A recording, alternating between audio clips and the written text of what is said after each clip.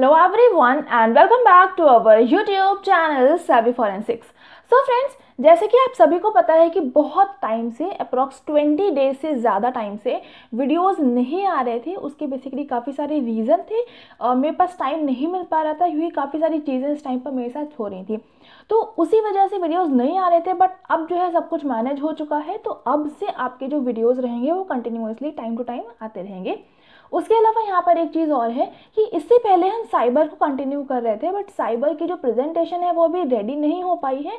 तो इसी वजह से आज हम डिस्कस करेंगे जो आपका नेट का एग्ज़ाम रहता है, उससे रिलेटेड कुछ आपके इंपॉर्टेंट पॉइंट्स रहते हैं, जैसे कि जो आपके फ्यूजन होता है फॉन्टेन और सूचर्स का। उसके बारे में हम यहाँ पर डिस्कस करेंगे, कब इनकी क्लोजिंग होती है। तो वो सारी चीज़ें जो रहती हैं, आपके एग्ज़ाम में डायरेक्टली क्वेश्चंस बनते हैं तो पूरी लिस्ट है। इसको आज के वीडियो में हम डिस्कस करने वाले हैं। बाकी साइबर को भी जल्दी ही हम स्टार्ट कर देंगे, जब प्रेजेंटेशन रेडी हो जाएगी, तब ज़्यादा वेट नहीं आपको करना पड़ेगा। लेकिन हाँ उसके थोड़ा सा मुझे टाइम चाहिए। ठीक है अभी स्टार्ट कर लेते हैं और यहाँ पर। सबसे पहले अगर हम बात करें कि जो फ्यूजन होता है एंटीरियर फॉन्टानेल अब बेसिकली ये होते क्या हैं? तो आपने जब एंथ्रोपोलॉजी पढ़ा होगा, वहाँ पर जो स्कल रहता है तो स्कल में आपके होते हैं anterior fontanelle posterior fontanelle lateral fontanelle metopic suture तो काफ़ी सारी चीज़ें रहती हैं जो कि आपने एंथ्रोपोलॉजी पढ़ते टाइम पर पढ़ा होगा बट अब नहीं पता है आपको। तो अभी बस नाम से आप समझ लीजिए कि ये जो नाम रहता है, ये किस ईयर में इसका फ्यूजन या क्लोजिंग होती है। बाकी ये कहाँ कहाँ पर अवेलेबल होता है तो उसका भी मैं सेपरेट वीडियो अपलोड कर दूँगी तो वहाँ से आपको वो भी चीज़ें समझ में आ जाएँगी, ठीक है? तो यहाँ पर सबसे पहले अगर हम बात करें एंटीरियर फॉन्टानेल का तो एंटीरियर फॉन्टानेल जो है, वो सेकेंड ईयर में उसका फ्यूजन होता है। सेकेंड जो है आपका मैंडबल जो मैंडबल रहता है, यानी कि जो आपका जॉ वाला पोर्शन रहता है, जहाँ पर एक आपका जॉ रहता है, उसमें दो बोन्स अवेलेबल होती हैं तो जॉ वाले पूरे पोर्शन को हम मैंडेबल बोलते हैं और उसमें दो अलग अलग बोन्स रहती हैं, जो कि सेंटर से आपका उसका होता है जॉइनिंग तो जो सेंटर से आपकी जॉइन जो आपका चीक वाली बोन रहती है ना, वो वाली बोन की बात कर रहे हैं तो उसमें जो सेंटर से जॉइनिंग होती है, वो आपके जो मैंडेबल के दो हाफ़ होते हैं, वो भी आपके सेकेंड ईयर तक उसमें क्लोजिंग हो जाती है. उसके अलावा नेक्स्ट है आपका condylar portion of occipital bone जो ऑसिपिटल बोन होती है आपके स्कल में तो उसका जो कॉन्डाइलर पोर्शन होता है, उसका स्क्वामस के साथ में जो फ्यूजन होता है, वो थर्ड ईयर तक हो जाता है, यानी कि बर्थ के तीसरे साल तक अप्रॉक्सीमेटली वो हो जाता है। उसके अलावा नेक्स्ट अगर हम बात करें condylar portion of occipital bone with basi occiput basi ऑसिपट का जो स्ट्रक्चर रहता है, उसका फ्यूजन आपके ऑसिपटल बोन के कॉन्डाइलर पोर्शन के साथ रहता है, वो आपका फिफ्थ ईयर तक कंप्लीट हो जाता है। नेक्स्ट आपका लेटरल फॉन्टाइलर की बात करें तो इसमें जो फ्यूजन होता है, वो सेकेंड मंथ तक ही कंप्लीट हो जाता है।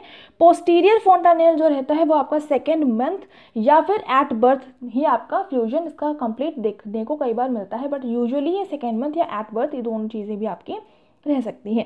मीटोपिक सूचक की बात करें, ये काफ़ी इंपॉर्टेंट क्वेश्चन बन जाता है। काफ़ी बार यहाँ से क्वेश्चन आया है कि मीटोपिक सूचर क्या होता है, कहाँ पर अवेलेबल होता है, इसका फ्यूजन किस ईयर में होता है तो इस तरह से अलग अलग तरह से क्वेश्चन यहाँ पर पूछे जाते हैं।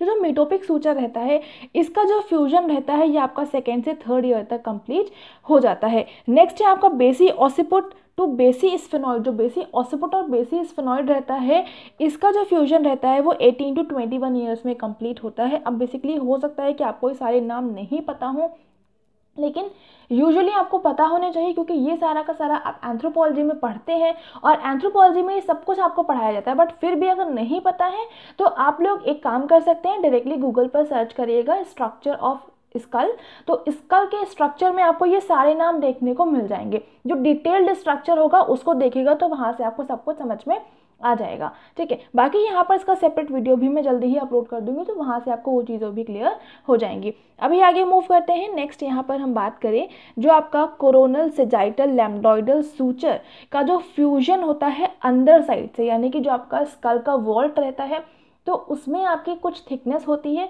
तो थिकनेस की अगर हम बात करें मान लीजिए ये आपका स्कल है इसमें ये इतनी इसकी थिकनेस है।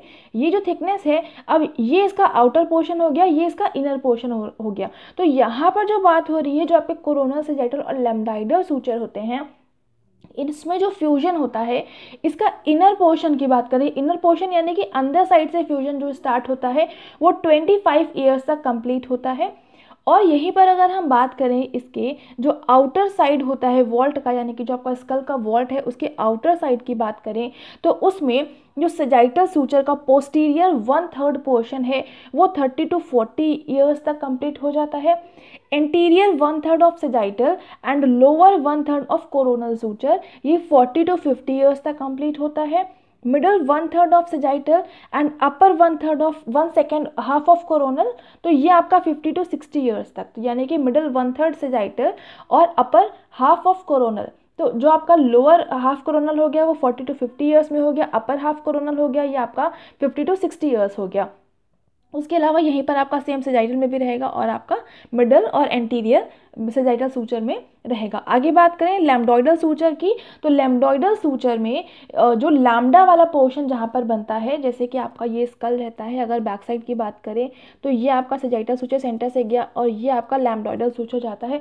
तो यहाँ पर ये वाला जो पोर्शन रहता है, जिसको हम लैमडा बोलते हैं इसकी जो क्लोजिंग रहती है वो 45 ईयर्स तक हो जाती है और उसके अलावा जो स्क्वामस पार्ट होता है टेम्पोरल का, वो फ्यूज़ करता है जो नेबर के, उसके जो भी बोन्स रहते हैं, जो सूचर्स रहते हैं उनसे तो ये आपका 60 ईयर्स तक कंप्लीट हो जाता है, ठीक है? तो ये सारे ही जो फ्यूजन मैं बता रही हूँ, ये बहुत इंपॉर्टेंट है, इनको बहुत अच्छे से याद कर लीजिएगा और बेसिकली इसका सोर्स मैं आपको बता देती हूँ, जो नागेश कुमार राव बुक है, उस बुक से मैंने इसको लिया हुआ है तो वहाँ से भी आप इसको रेफ़र कर सकते हैं। ठीक है, अभी आगे चलते हैं और नेक्स्ट यहाँ पर बात करते हैं, यहाँ पर कुछ और भी, यहाँ पर बेसिकली सूचन नहीं है हम यहाँ पर जो बोन्स के जॉइंट होते हैं, उनको हम डिस्कस करेंगे। तो जो आपका एट्रेशन होता है या फिर जो लॉस ऑफ़ टीथ होता है, वो आपका फिफ्टी ईयर्स के बाद में स्टार्ट होता है।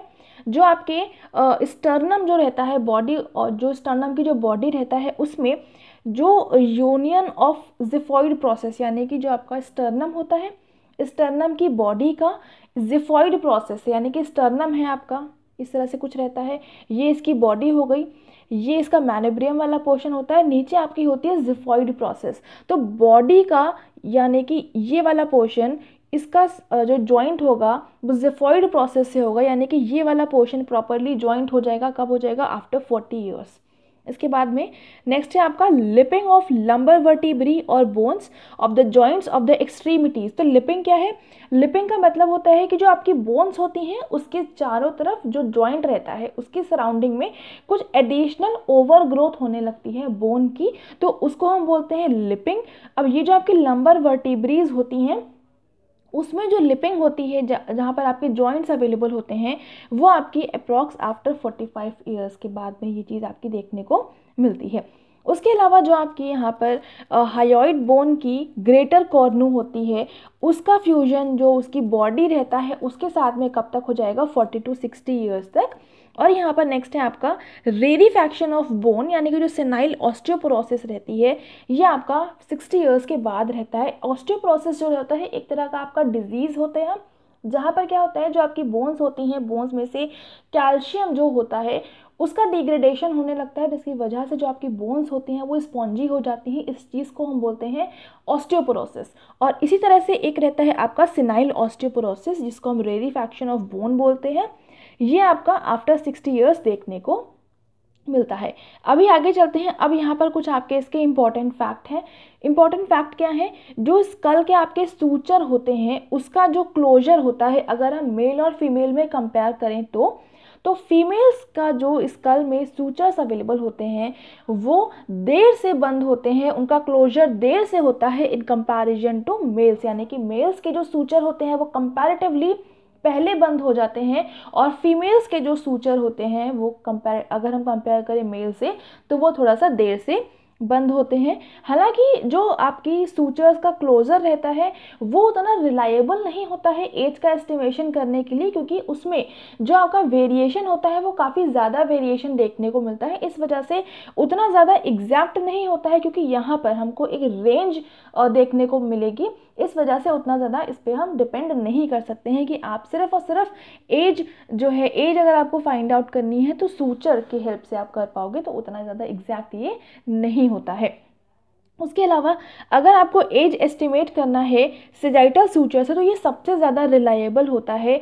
इसके बाद में आपका आता है लैमडॉइडल और फिर आता है आपका कोरोनल सूचर अब ये सीक्वेंस याद करना बहुत इंपॉर्टेंट है कि आपसे डायरेक्टली पूछ देंगे कि अगर आपको एज का एस्टिमेशन करना है तो सबसे ज़्यादा रिलायबल आपके स्कल में कौन सा सूचर होता है या फिर आपको सीक्वेंस बताना है कि किस सीक्वेंस में आपके सूचर जो रहते हैं, वो एज का एस्टिमेशन करने में रिलायबल होते हैं। तो सबसे ज़्यादा रिलायबल है आपका सजाइटल सूचर फिर आ जाएगा आपका लैम्डोइडल सूचर और उसके बाद में लास्ट में आ जाएगा आपका कोरोनल सूचर मेजर जो सूचर होते हैं आपके यही तीन होते हैं तो इसको आपको अच्छे से याद रखना है। सबसे पहले सजाइटल सूचर कहाँ पे होता है? ये आपका स्कल है। ये आपका है कोरोनल सूचर ये आपका फ्रंटल और जो फ्रंटल साइड रहता है वो है। ये है आपका सजाइटल सूचर और ये कुछ इस तरह से लैमडा के शेप में बनता है, इसको हम बोलते हैं लैमडोइडल सूचर जो कि आपकी ऑसेपट बोन के पास में अवेलेबल होता है।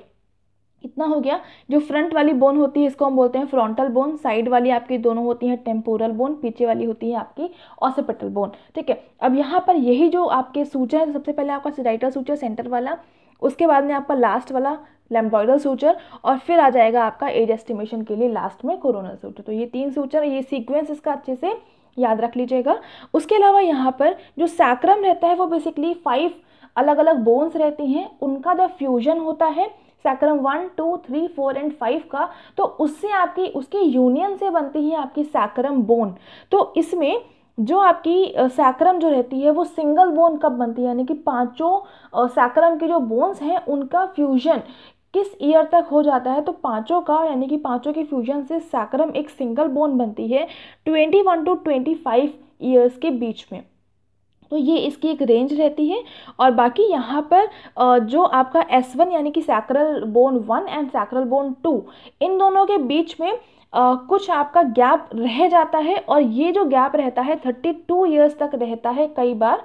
और ये क्यों रहता है? ड्यू टू लैप्सड यूनियन क्योंकि प्रॉपर यहाँ पर यूनियन नहीं हो पाया है।